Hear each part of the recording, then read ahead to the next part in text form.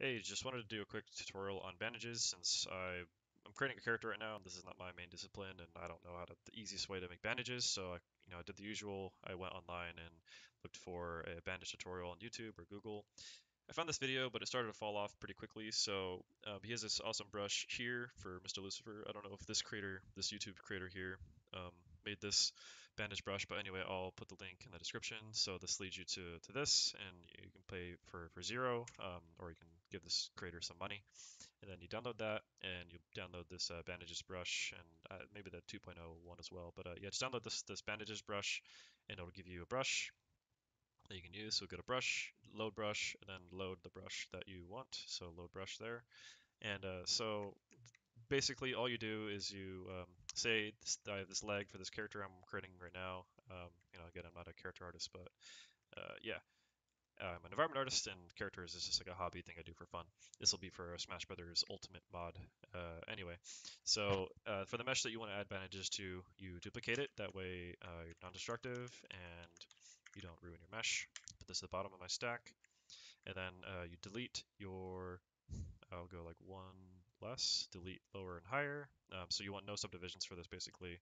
And what I can do now is, uh, so with that brush loaded, so you know the load brush like I said a second ago, and it'll automatically populate it to your, to your, uh, it'll load your brush ready to use at the bat. So quick rule, um, the, the bigger or smaller your brush is will be dependent on the size of the actual bandage there. So you can see there's that, and I'll do like a smaller one it's a smaller one, you get smaller bandage. Okay, cool. So quick rules on that.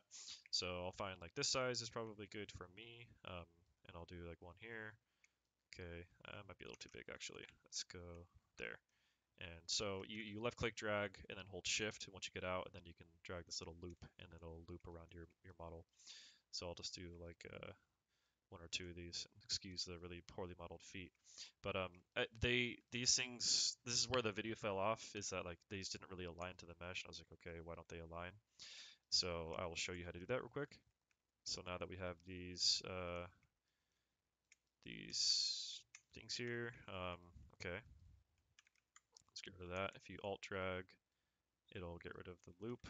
So uh, yeah, now I will go to um, I want to hide this mesh and then uh, group these into a single thing.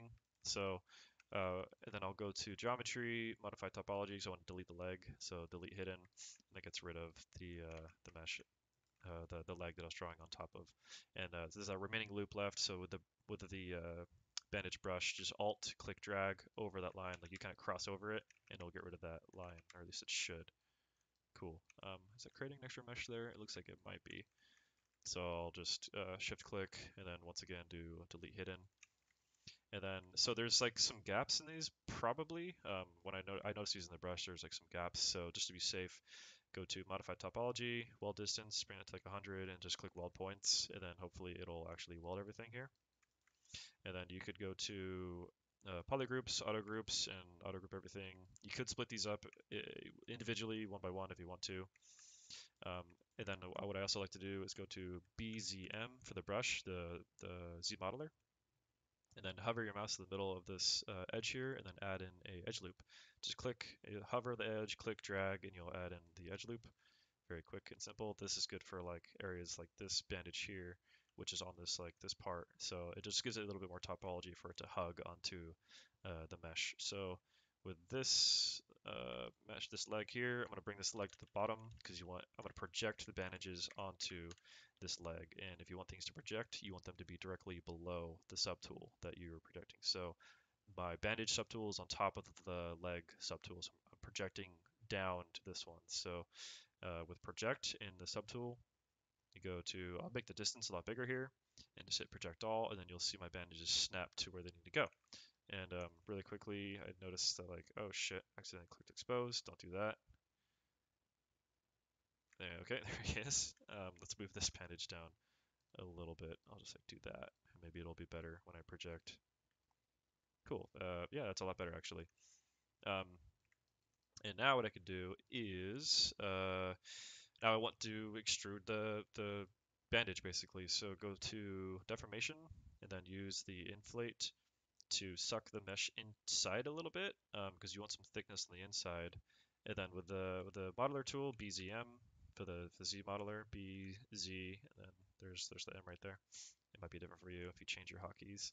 Uh, hover in the middle of where one of your uh, here I'll just inflate one more time just so, so you can show. So if you hover in the middle of one of your polygons, hold spacebar, and then you go to extrude here on the left, and then all polygons. So if I do that, it's going to extrude all the polygons where they where they are basically. So this is where I say you can split the these subtools into their own uh, groups basically. So auto groups and split uh, group split, and then it'll split them to their individual subtools. But for this demo, I'm not going to. Go to inflate, go to sink them in the mesh again for that thickness, and then with the Z modeler tool, find one of the the, um, the polygons and just extrude out. Okay, cool. And now uh, I'll probably like do that side, that kind of thickness there.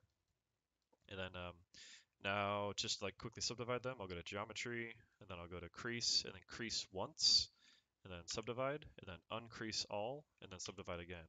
And then you get some pretty sweet looking uh, bandages um, very quickly. And you could I could auto groups these, use a move topology if I want to, and like just drag out any of these um, bandages here where they are overlapping. So, and like bandages in games, like especially for like a model like this, I don't care that that these are just like cylinders on a leg. I like no one's gonna no one's gonna care. No one's gonna look and see that um, that these are actually like one continuous like loop of of a mesh. Like if you see it from this angle, you're like, oh cool, it's a bandage. So anyway, that's a really cool, quick way for me to do a bandage using ZBrush only without doing like edge masking. And then know like th there's this method where you do that, then you go to subtool and you extract, and then you you do the thickness, then you polish it, and you Z remesh it, all that stuff. I, just, I don't want to deal with that. So yeah, this works for me. Thanks, and, and uh, good luck.